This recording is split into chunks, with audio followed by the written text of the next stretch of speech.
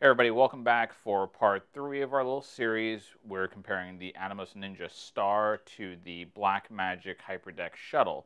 And we're talking about the pros and cons of each, um, just a general overview of what recorders do, and which one is best for you because they definitely have similarities and differences which are significant enough that they may not both be right for everyone.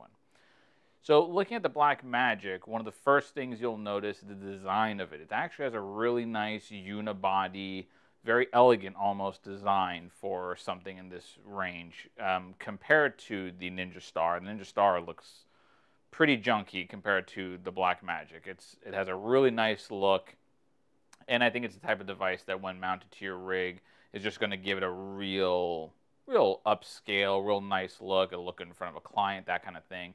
Not that the Ninja Star won't, but the Black Magic in terms of style, it wins out on that one. Recording media. So this is a big part of the comparison between the two because this is where they get really different.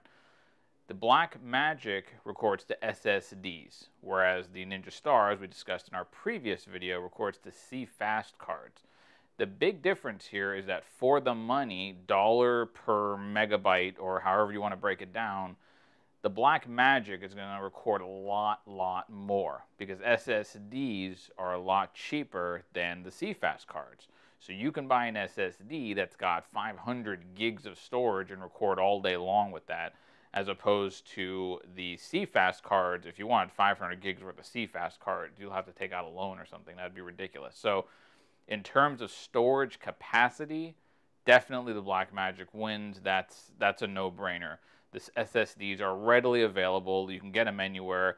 I believe Blackmagic has a list of the ones that they recommend, but it's it's pretty liberal in terms of which ones you can use, and uh, they're very good. I mean, SSDs are nice because even if you're in a outdoor run and gun kind of setting, they're not like spinning drives where you have to worry about you know movement stuff like that. So you can kind of bolt it onto your rig and you're ready to go.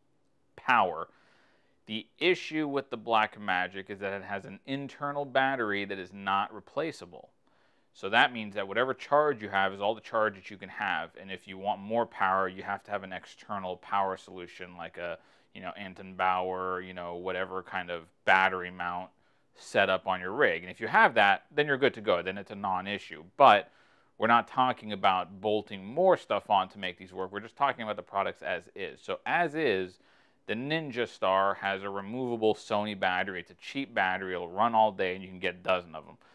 The Black Magic is a different story, and I believe on a full charge, you're probably going to get about an hour, two hours use, somewhere in that range. Not very much. So if you're out there shooting events, you're shooting just sort of out in the field documentary style, anything like that, you're going to run into some challenges unless you do any kind of a power solution. So definitely recommend having some kind of a power, or it would be great in a studio environment where it can be plugged in and then it's a non-issue.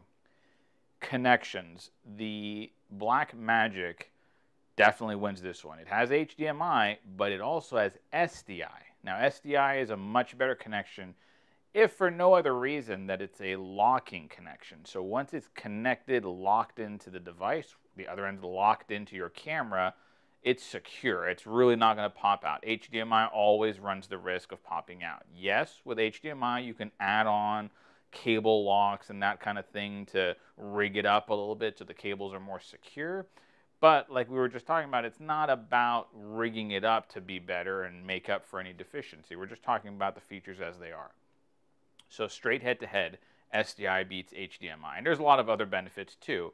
Most cameras, when they're outputting through the SDI, they're going to output the true 24p, not anything else that has to be have pull down removal from a 60 interlace field and all that stuff. No, SDI is usually going to get you a clean 24p signal, so that's a huge benefit as well.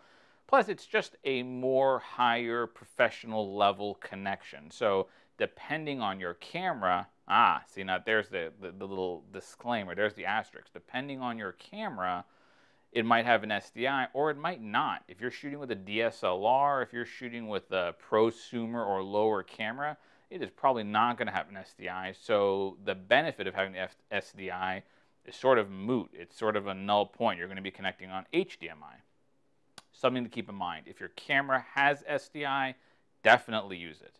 You can get adapters to adapt the Ninja Star to take SDI, but again, we go back to having to bolt more stuff on. We're not really talking about that. So connections, Blackmagic, that's definitely a win there.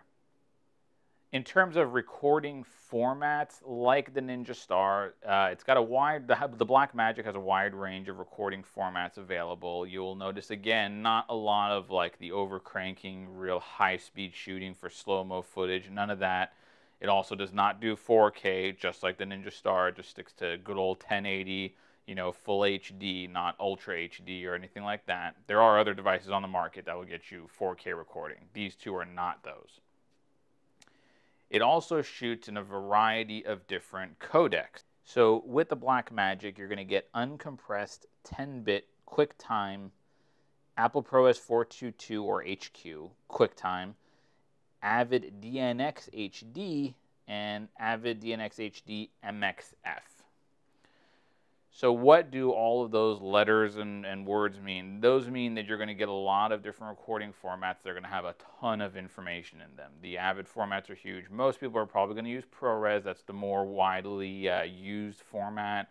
You know, all your nonlinear editors are going to be able to read it. And the nice thing is that even though the files are large, because it is uncompressed, it doesn't really take that much computing horsepower to be able to use these formats. This applies to both devices.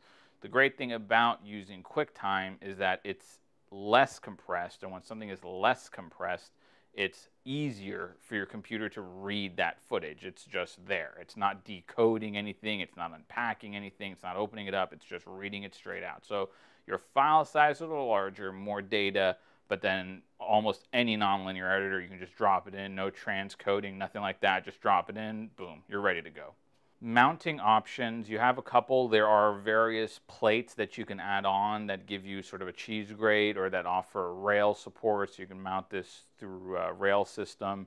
This is a heavier device, so the mounting is a little bit more robust as opposed to the Ninja Star, which is lighter. So you can mount it a lot easier and a lot more uh, different options and stuff. You can use those little arms, you know, the, the adjustable arms. You can use a ball head on your hot shoe and mount it. You can pretty much stick it anywhere and it's going to be fine because it's so light. The Blackmagic's a little bit heavier, so you're going to take a little bit more work to mount it. You want to make sure it's a little bit more secure, but at the end, mounting is really not an issue. Another benefit of using the SSDs is that once you're done shooting, this device basically just becomes an external hard drive you can just take this, plug it straight into your computer, and just start editing on the drive. You don't have to actually take the footage off because it's already on a hard drive. You don't have to move it to another hard drive if you don't want to. So you can pop in an SSD, shoot, take it back to your computer, start editing right there on the same SSD. The whole file's right there. Depending on what your budget is, you could theoretically just have a different SSD for each project. Shoot, edit, everything's done, self-contained, file it away, just move on to the next one. So that's a real big benefit being able to shoot on SSDs. That's just one less step of copying footage over that you don't have to do, that you would have to do with the CFast cards with a Ninja Star. So the Blackmagic HyperDeck Shuttle is a great device. Its biggest perks are the fact that it has SDI as well as HDMI. That's a big benefit to people with more pro level gear. There's a, it's a much stronger connection. It's just a better connection to have overall. So that's definitely a big plus. The design, the physical design of it is much nicer. It seems, feels much more heavy duty. And the recording format onto SSDs is much more convenient than what you're going to find with the Ninja Star and its CFast cards. So those are definite perks. Obviously, the downsides are the fact that it has a non-replaceable battery. That means when you're out in the field shooting, if your battery dies and you don't have an external power solution, you're kind of out of luck. So definitely something to consider for people that shoot documentary style, run and gun events, anything like that, just be aware of the power limitations and make sure you have something to compete with that. So that wraps up part three. Next will be the final conclusion. We're going to kind of give a quick breakdown of both, and then I'm going to share with you who I think each device is best suited for, what the strengths and weaknesses are in comparison to each other, and uh, where they both land in the marketplace. Thanks for watching. As always, remember, please subscribe, share if you liked it. Leave a comment below if you have the Blackmagic HyperDeck Shuttle. How do you like it? What applications are you using it for? Maybe post some pictures of your rig with it mounted and, uh, and share with the community on what you think. Thanks a lot, and we'll see you in the next one.